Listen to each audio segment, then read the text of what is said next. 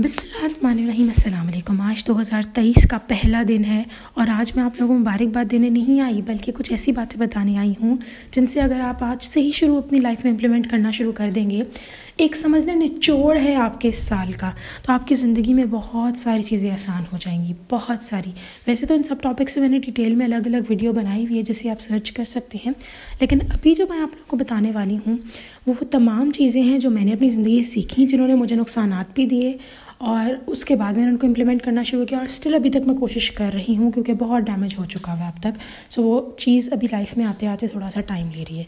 लेकिन आप लोगों को इसलिए प्री हैंड एक कह लें आप लोग पहले इसलिए बताना चाह रही हूँ बिफोर टाइम बताना चाह रही हूँ ताकि आप लोगों को पता हो और आप उसको इम्प्लीमेंट करना शुरू कर दें। तो, तो बात पहली ये है कि सबसे पहले खुद को हर्ट अपनी वजह से करना बंद करें और अपने आप को माफ़ करें। एक पेपर जल्दी से निकालें। अगर आपके पास टाइम है ऑब्वियसली ये नहीं कह रही कि आप गाड़ी चला रहे हैं या कोई और काम कर रहे हैं, लेकिन आपने काम बाद में फ्री होकर करना है। आज से कर लें, बहुत अच्छा एक पेपर निकालें, उस पर आपने लिखनी है वो तमाम चीज़ें जिनके लिए आप ख़ुद को फॉरगिव करते हैं। हम अक्सर अवकात अपने आप के कुछ रवैयों से खुश नहीं होते, कभी अपने प्यारों को हर्ट कर देते हैं, कभी हम ज़िंदगी में कोई ऐसे काम कर जाते हैं जिनकी वजह से हमें बहुत तकलीफ़ और दुख होता है और वो हमारी ही गलती होती है, जैसे कि लोगों से उम्मीद लगा लेना और फिर उम्मीद लगाना भी हमारी गलती होती है, क्योंकि अल्लाह ने कहा है, उम्मीद सिर्फ़ मुझसे लगाओ, लेकिन हम इंसानों से लगा के बैठ जाते हैं तो ज़ाहिर सी बात है, अल्लाह ने तो अपने से उम्मीद लगाने को कहा। और जब इंसानों से उम्मीद लगाते हैं तो हम हर्ट होते हैं। तो प्लीज़ एक पेपर निकालिए, अपने आप को माफ़ करें। जब तक आप खुद की ज़ात को माफ़ नहीं करेंगे, आप आगे नहीं बढ़ सकते। वो तमाम चीज़ें, जहाँ पर लोगों से आपने गलत उम्मीदें लगाई और बाद में आप अपसेट हुए। इसमें सबसे बड़ी गलती आपकी अपनी ज़ात की है कि आपने लोगों से गलत गलत लोगों से उम्मीदें लगाई। उनसे उम्मीदें लगाना नहीं बनती। कोई आ गया ज़िंदगी में सौ बिस्मिल्ला कोई नहीं आया ना सही। तो प्लीज़ अपने आप को माफ़ करें। एग्ज़ाम्पल दे देती हूँ, जैसे कि मैं ख़ुद को माफ़ करती हूँ। कि मैंने लोगों से गलत उम्मीदें लगाई जिसने मुझे साल हर साल बहुत ज़्यादा तकलीफ़ पहुँचाई। मैं ख़ुद को माफ़ करती हूँ कि फ़लाँ वक्त में मैंने बहुत बुरा बोला किसी को और बाद में मैं उस गिल्ट में रोती रही थी। हमेशा याद रखिएगा एक अच्छा इंसान ही हमेशा किसी के साथ बुरा करने के बाद गिल्ट में आता है। इसका मतलब ये नहीं कि मैं ख़ुद को अच्छा कह रही हूँ, लेकिन उसमें होता यह है कि जब हम गिल्ट में चले जाते हैं ना किसी के साथ कुछ बुरा करके, बुरा बोल के तो हम गिल्ट में चले जाते हैं, हम खुद को मलामतें करते हैं कि हमने क्यों किसी का दिल दुखाया। और उससे होता ये है कि देखें बहुत अच्छी बात है कि आप गिल्ट में जाते हैं, लेकिन फिर उस गिल्ट में ही ख़ुद को अपने आप को सजा देते रहना, हर वक्त खुद को बुरा समझना, ये सब नहीं है। अल्लाह ताला भी आपको माफ़ कर देता है। तो प्लीज़ ख़ुद को माफ़ करना सीखें। सो so, इसीलिए कोई एक जुमला ऐसा मज़ीद मैंने ख़ुद को किसी कभी ऐसे होता है कि एम्बेसिंग मोमेंट हो जाता है हमारे साथ और हम उस एम्बेरसिंग मोमेंट के बारे में सोचते रहते हैं। जैसे मेरे साथ स्कूल में एक वाक्य हुआ। हमारे स्कूल में एक कंपटीशन हुआ स्पीच का इंग्लिश और उसमें मैंने फ़र्स्ट प्राइज़ लिया जिसके बाद में बहुत खुश हो गई कॉन्फिडेंस बढ़ गया बहुत ज़्यादा ज़िंदगी में पहली बार ऐसा हुआ। उसके बाद हमारे स्कूल में उर्दू स्पीच का एक कंपटीशन हुआ, जिसके ऊपर मेरी मिस ने मुझे पार्ट लेने को कहा और फॉर सम रीज़न मेरा दिल नहीं कर रहा था पार्ट लेने का। लेकिन उनके इसरार करने पर मैंने कहा, ठीक है। और एक स्पीच भी लिख डाली। जब स्पीच लिख डाली तो सबसे पहले जाकर स्पीच देने के लिए एक जो कागज़ था, उन्होंने कहा था आप बेशक वो सामने रख लेना।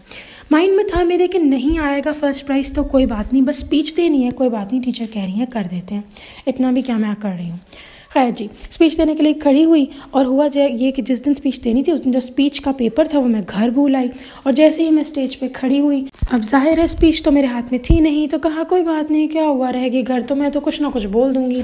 अब तब तक सब सही जा रहा था फुल ऑन कॉन्फिडेंट इवन ये भी कॉन्फिडेंस ज़्यादा था मेरे अंदर कि हाँ ना भी जीती तो क्या हुआ? खड़ी हुई, लेकिन फॉर सम रीज़न कुछ इस तरह हुआ कि खड़े होने के सारे सारे वर्ड्स भूल गई। मोहतरम इस कराम पढ़ के अगला वर्ड कुछ भी नहीं आया और माइक में बोल दिया, ये मैं क्या बोल रही हूँ? लिटरली वो सारे स्कूल में गूंजी आवाज़। कोई हंसा तो नहीं मेरे पर which was a good thing अलहमदिल्ला शायद उसका ड्रामा कुछ और ही होना था। और मैं एकदम से स्टक हो गई। तो मेरी मिस ने मुझे कहा, साइड पे जो बैठी हुई थी अजर जज, उन्होंने कहा, कोई बात नहीं, आप दोबारा शुरू करें। और उस टाइम दोबारा शुरू करने की कोई ताकत, कहीं एनर्जी से फील नहीं हो रही थी। सॉरी बोल के स्टेज से नीचे उतर आई।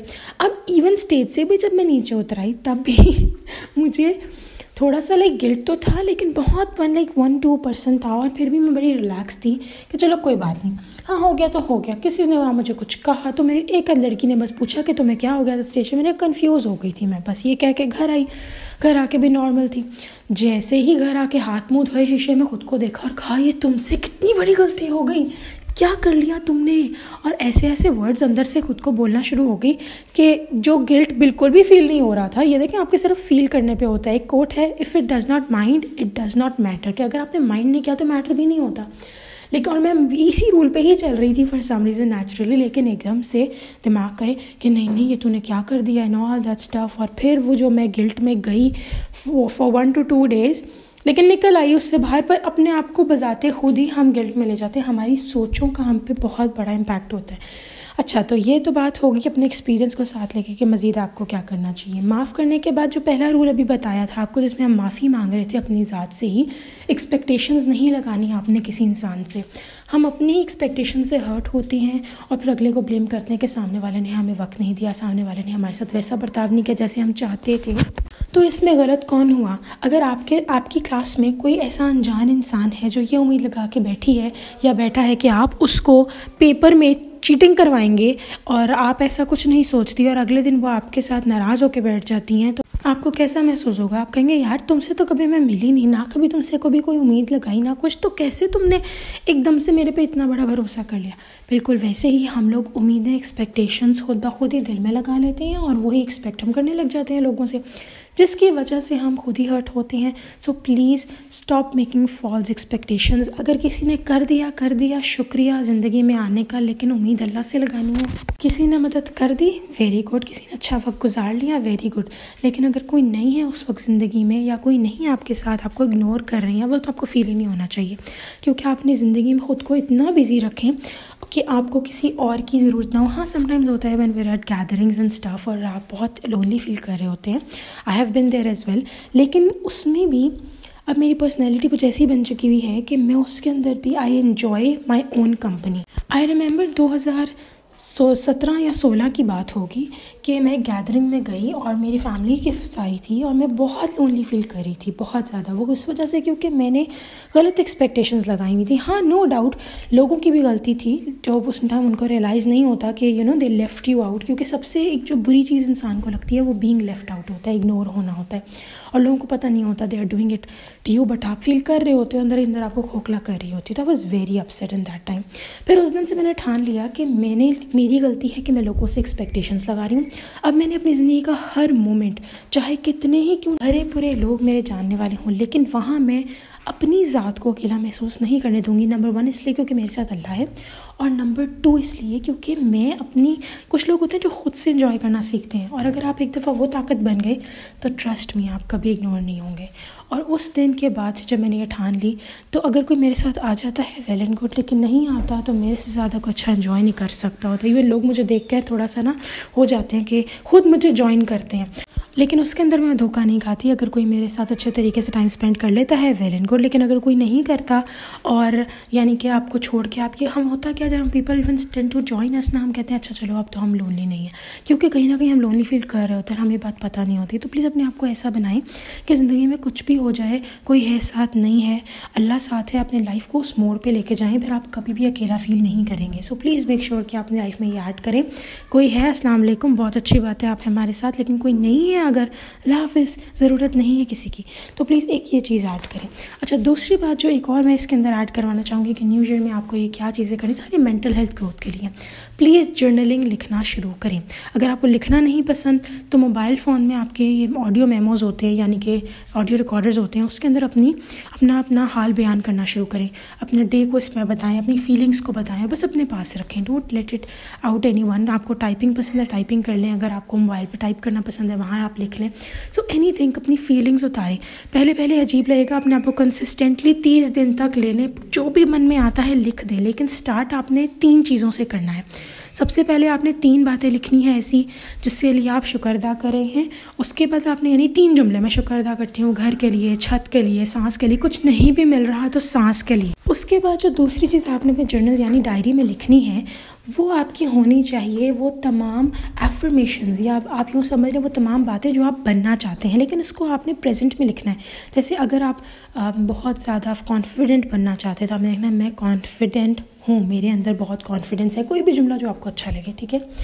अच्छा उसके बाद इस तरह के तीन जुमले आपने रख, लिखने हैं अपने बारे में फिर उसके बाद अपना हाल उतारें, जो दिल में है निकालें। आहिस्ता आहिस्ता क्या होगा, हमें अपनी ज़ात के बारे में पता लगेगा हमारे हमें हमारे पैटर्न्स के बारे में पता लगेगा कि हम क्या सोचते हैं, हम क्या करते हैं। इससे ज़्यादा भी और बहुत सारे टिप्स हैं जो आगे इन ताला आने वाले साल में मैं आपको दूँगी, लेकिन अभी के लिए बस इतना ही। इसीलिए ये बातें सिर्फ़ इम्प्लीमेंट कर लें, इनमें से एक दो बातें भी अगर आप इम्प्लीमेंट कर लेंगे, आपकी लाइफ बहुत सुखी हो जाएगी। आपकी जो ज़िंदगी में ख़ुद साख्ता बने हुए मसले हैं ना, वो काफ़ी थर तक हल हो जाएँगे इन ताला। एक आखिर में बात कहूँगी।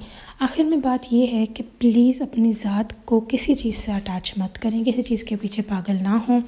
इवन जूतों के पीछे भी नहीं। हमारे दीन में फरमाया गया है औलाद और माल आजमाइश है, क्योंकि अल्लाह ताला नोस के ये दो ऐसी चीज़ें जिसके पीछे इंसान पागल हो जाता है। तो बिल्कुल इसी तरीके से आप अगर जूती के पीछे ही पागल होंगे, आप उसके पीछे ही रहेंगे इवन थाट्स के पीछे भी होंगे तो उन्हीं के पीछे ही आप रहेंगे। तो प्लीज़ किसी चीज़ के पीछे पागल होना बंद कर दें। Stop making anything priority but अल्लाह ताला और फिर जब आप अल्लाह ताला को सिर्फ़ प्रायोरिटाइज़ कर लेंगे तो उसके बाद आपकी ज़िंदगी में किसी चीज़ की कमी नहीं रहेगी, किसी चीज़ की मुश्किल नहीं रहेगी, किसी चीज़ की परेशानी नहीं रहेगी, क्योंकि अल्लाह ताला सिर्फ़ यही चाहता है आपसे कि आप अल्लाह ताला को पहले प्रायोरिटाइज़ कर लीजिए। सो इसी के साथ अल्लाह हाफिज़ और इन नेक्स्ट वीडियो में फिर हाजिर होंगे। अल्लाह हाफिज़।